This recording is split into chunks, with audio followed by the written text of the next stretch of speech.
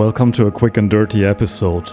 For those who are new, quick and dirty is a category of videos where I spend comparably little effort on recording the build steps. This allows me to focus on the main innovative concepts and share them with you even during times when I have more ideas than time to make videos. The results may not be as accessible as my usual videos, but they are meant to give you inspiration.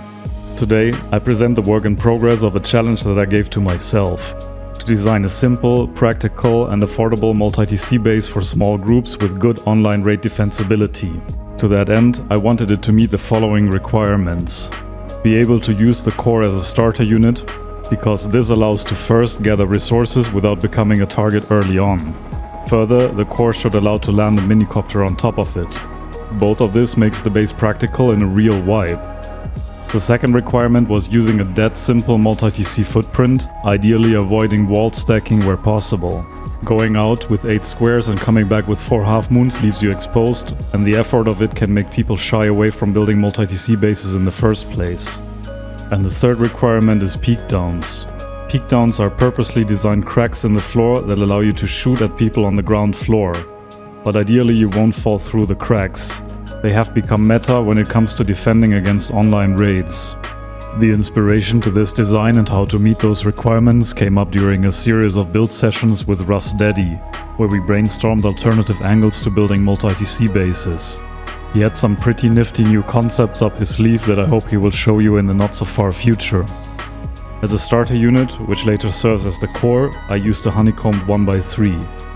This allows to build something close to the Phoenix base as a core. The outer squares become the main loot rooms, the central square has the workbench and the chute, which can be sealed with a roof stability bunker for extra offline raid protection. To make the wall stacking as simple as possible, we simply build two rings of foundations around the core, destroy the inner ring, and build the outer defense layer on top of the outer ring. By leaving those gaps at the end, we split the ring into two independent units, which helps to keep the upkeep tax low. The gaps can be closed off by two squares. The best way to place those, unfortunately, is to use the standard wall stacking method of going out 8 squares and coming back with 4 half moons. The upside is, if it does not work the first time, you can always repeat those steps. I'm also pretty sure that it is possible to find a way to reliably place them freehand.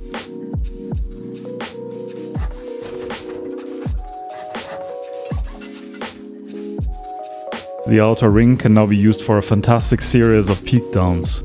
Each floor tile is connected to the inner wall, which means that it will remain intact if the outer wall is rocketed open. They are stabilized as much as possible by those wall frames, so that they are more likely to remain intact even if the inner wall breaks.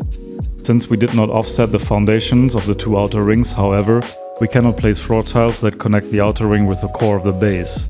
But that's not a bug, it's a feature. It allows us to place a second ring of incredibly sneaky peek downs, meaning that if your outer line of defense fell, there's a second line waiting to take on those pesky raiders.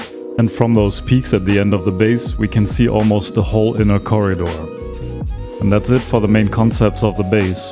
The rest of the video will be me speed building the base to music. The combined upkeep will end up around 6 to 8k metal fragments and 80 to 100 high qual. I won't show you how to place any items, Instead, I'd encourage you to take this concept to a build server and figure out your own preferred interior design. Enjoy the build.